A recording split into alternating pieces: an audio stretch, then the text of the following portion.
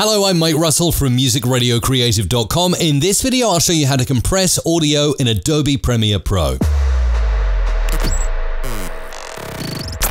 So here we are editing a vlog in Adobe Premiere Pro. If you want all of this to be made easy for you with some presets, go and check out my brand new Adobe Premiere Pro audio presets at mrc.fm forward slash presets. Everything like compressing the voice, making it sound crisper, clearer, and getting rid of any background noise or wind or anything like that. mrc.fm forward slash presets You'll find them in a presets bin uh, with lots of different presets for different microphones, fun vocal effects, and more. But in this video, focusing on compression, here's some audio I did to my uh, vlogging mic. Let's have a listen to it and see how it sounds so far. Hopefully, not too bad, uh, but then it might need a little bit of It's really cool. A lot of my day here at MRC consists of making... Okay, so not too bad, but we can further compress that using, type in dynamics to the effects bar, drag and drop that on to our audio area and click the edit button over here. This will give us a compressor. This is the one we're going to use down the center.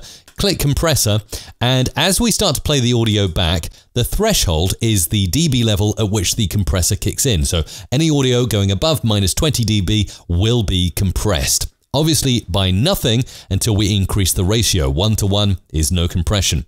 But say 2 to 1 means everything above minus 20 dB gets compressed, gets cut in half. Let's have a listen now to how that sounds with just a little bit of compression and a bit of threshold. It's really cool. A lot of my day here at MRC. And as you can see, the compressor is kicking in now and just pushing down some of those spikes. Uh, but obviously, the further up we go, so 4 to 1 is cutting everything into a quarter above minus 20 dB. It's really cool. A lot of my day here at MRC. And you can hear that's heavily compressed audio. Attack, that's how quickly the compressor kicks in. Generally, for dialogue at least, uh, you want to keep that really short, so a millisecond is fine. And release, how long it takes to let go and allow the audio to return to normal. 50 milliseconds again, defaults are all fine.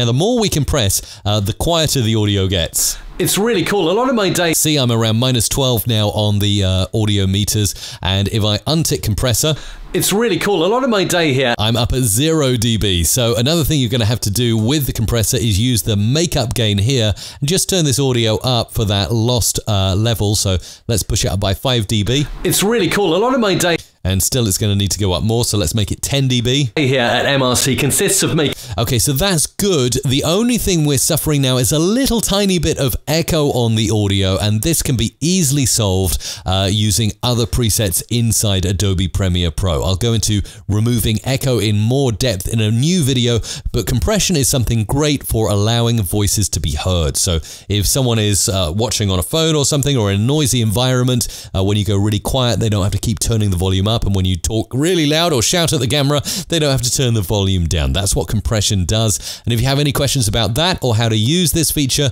in Adobe Premiere Pro, more than happy to help where I can. Just post a comment down below.